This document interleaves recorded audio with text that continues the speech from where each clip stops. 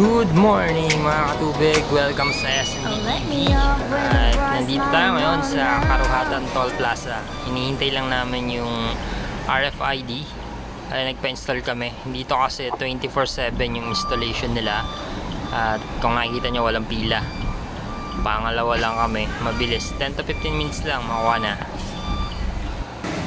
Bali ngayon kasi papunta kami ng Sambales for installation ng Diffel water filtration system.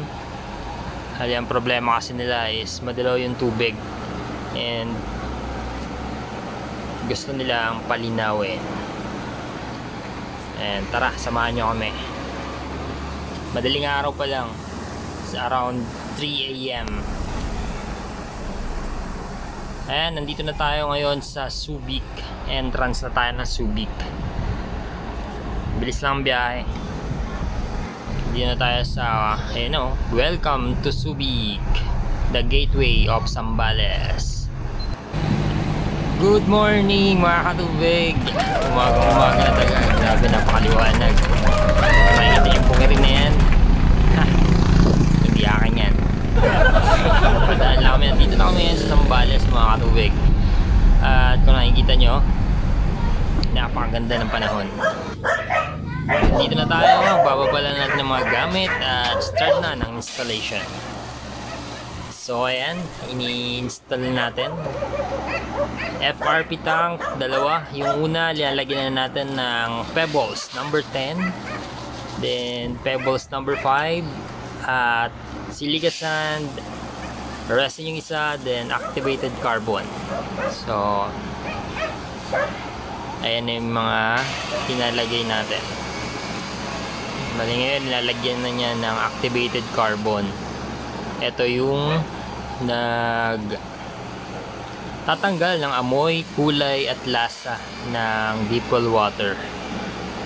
Ayan, kung makikita nyo, ito yung activated carbon, black carbon yan. So, ayan yung nagpapasarap sa tubig. Then, nag-absorb ng mga iron para nang sa ganun is maging clear water at walang amoy. Ang problema kasi ni sir is madilaw yung tubig nila kaya mahirap pag naglalaba.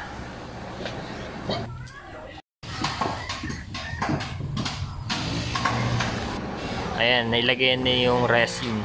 Yung resin para sa softener naman yun. Para maging soft water. Tinatanggal naman nito yung calcium and magnesium nang sige mawala yung white scaling. Yung mga pamumuti ng tiles tsaka pamumuti ng stainless kaya mawawala yan. Pag may so softener na kasama yung activated carbon natin. So eto na yung system na pang deeple water filtration. Kaya nalagay na yung 4 stages sediment filter. At ito yung ating S&D UV water sterilizer pampatay ng bacteria and viruses para safe na safe.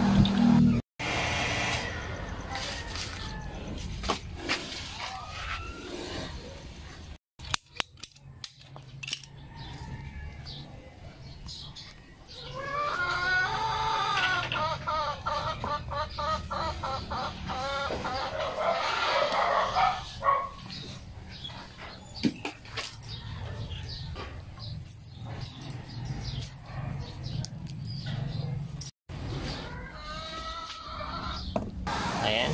Bali, PPR pipe nga pala yung ginagamit namin sa connection para malinis at matibay. Tatagal yan.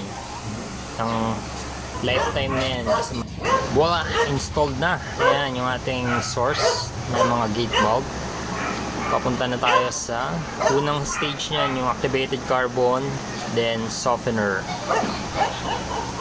Then, yung 4 stages na sediment filter, tapos UV light para pang-last natin yung bacteria, pamatay bacteria and viruses.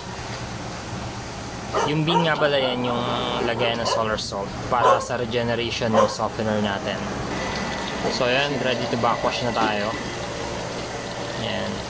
Makikita nyo yung backwash natin is maitim pa kasi nga yun yung dust ng activated carbon. So hintayin lang natin hanggang sa maging clear at ready to go na para i-backwash naman yung ating softener. So pag first backwash, hintayin nyo lang maging clear yung water nyo. Then yung next na. Okay, maraming salamat sa panonood at samahan nyo muli kami sa next video namin. Kung bago sa channel ko, please like, share, and subscribe at click nyo notification bell para updated kayo sa mga new videos namin.